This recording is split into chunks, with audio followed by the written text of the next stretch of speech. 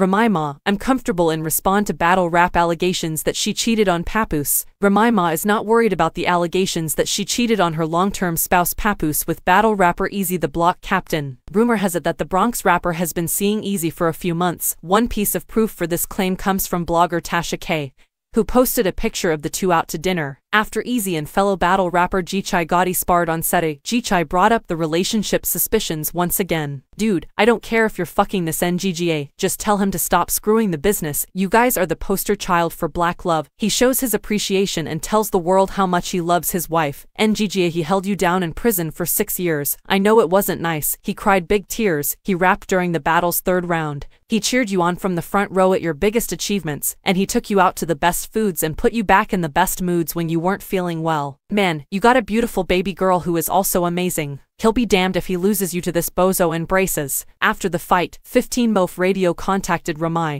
who was there, to get her opinion on what was stated. She replied, he was just summarizing what has been posted on the blogs over the past three or four months. I feel at ease. Take note, this is war rap.